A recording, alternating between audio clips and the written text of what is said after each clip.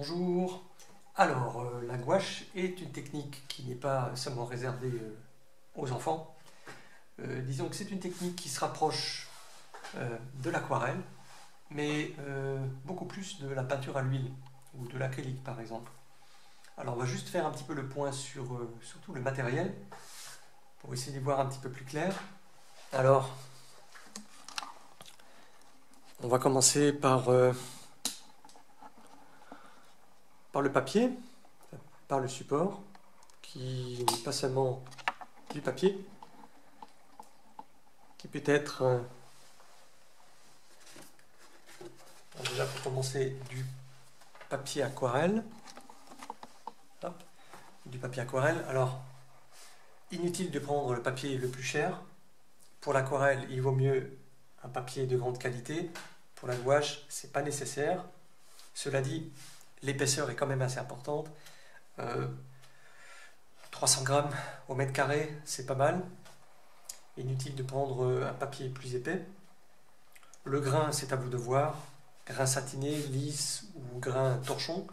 Moi, je préfère et je conseille un grain euh, torchon, ok, avec un, petit peu d'aspérité pour donner, pour travailler les effets.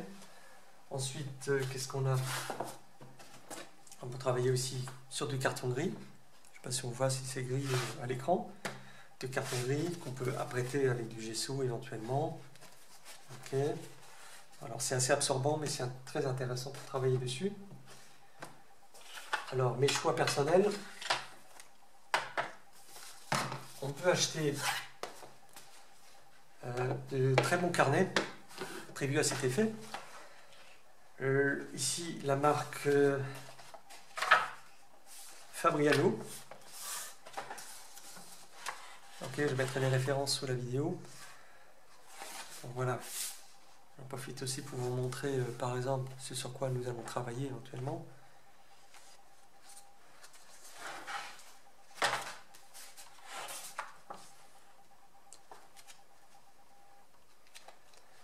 Travailler un petit peu sur tous les sujets. Les sujets sont imposés, sauf les deux derniers cours.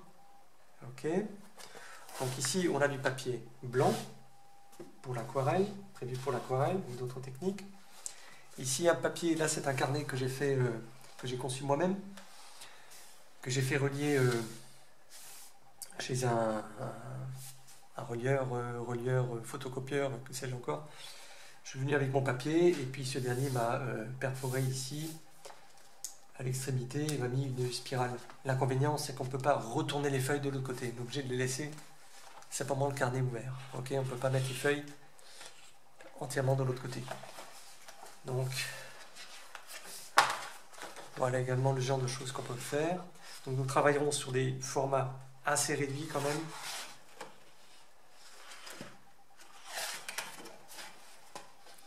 Voilà, ok. On peut aussi travailler sur un papier encore plus teinté. Ici, c'est le papier gris-bleu. Ne me demandez pas les références parce que je ne sais pas, euh, ça fait un moment que je l'avais. Donc, ok, donc c'est vraiment très intéressant. Très intéressant pour, euh, pour la gouache. Donc c'est une technique couvrante, contrairement à l'aquarelle. Ok, voilà pour les supports. Alors vous avez vu qu'ici, euh, j'ai effectué un cadrage. je me sers d'un cadre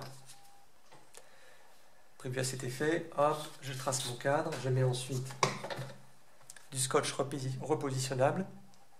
Et une fois la peinture achevée, ben, je l'enlève. Et puis, hop, tout est assez propre. Vous n'êtes pas obligé d'investir dans ce matériel, dans, dans un ruban adhésif.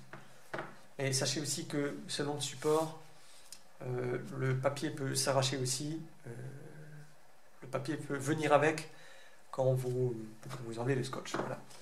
C'est ce que je voulais dire. Ensuite, alors c'est vraiment très important de regarder cette vidéo. J'ai mis une liste évidemment sur la page du site des l'UP.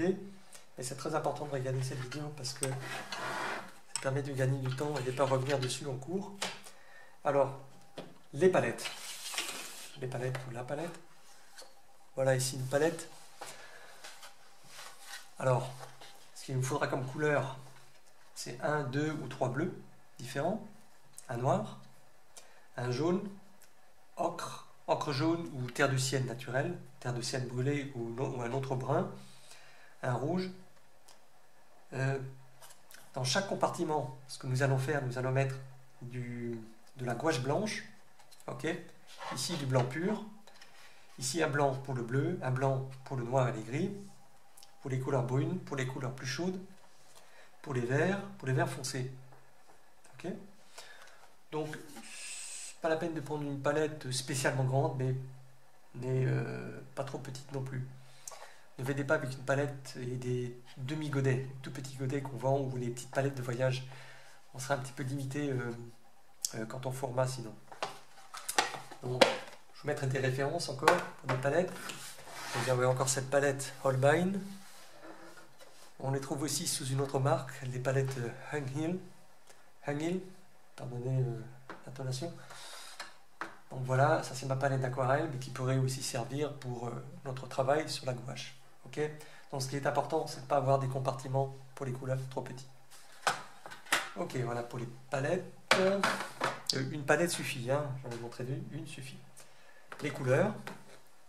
Alors, il y a une chose qui vous a peut-être intrigué dans la liste du matériel, c'est que je vous demande d'acheter des couleurs à l'aquarelle.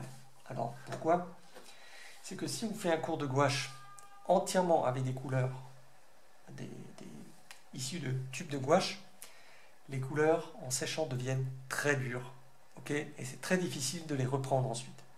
Alors il y a une méthode très simple, c'est d'investir dans des tubes d'aquarelle aux couleurs que je vous ai dit avant. Euh, euh, avant le cours, vous les mettrez dans la palette euh, quelques jours avant pour que ça sèche un petit peu quand même, et un tube de gouache blanche. Et vous obtenez quasiment le même effet qu'avec la gouache, que si vous preniez la gouache fraîche. vous pourrez, malgré que ce soit ce sont des couleurs à l'aquarelle, vous arriverez grâce à l'ajout du blanc euh, de la gouache blanche, vous arriverez au même effet. alors, c'est vrai que c'est un coût, ces couleurs, mais euh, vous en avez pour euh, des années. Hein. Ensuite, un récipient. Bon, ça c'est mon petit récipient de voyage. Un chiffon.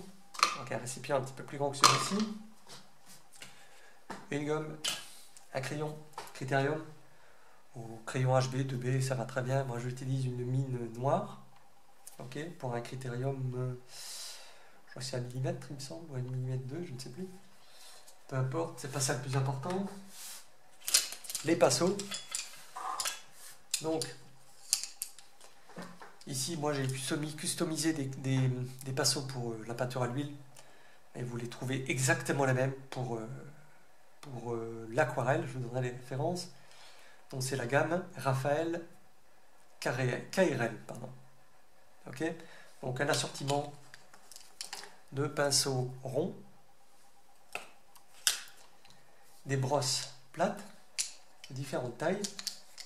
Ok, donc ici on doit avoir un cm 2, un cm, 1 cm 4 de largeur.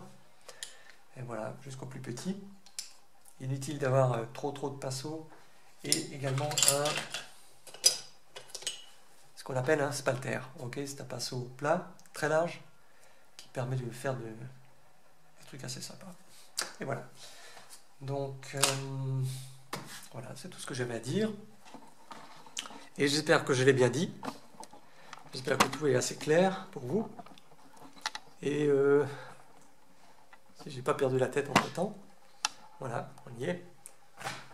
Donc, si vous avez des questions euh, sur cette page, il y a normalement mon adresse, mon adresse email. Donc, n'hésitez pas à me poser des questions. Et voilà, sinon, soyez les bienvenus à mon cours et à bientôt. Salut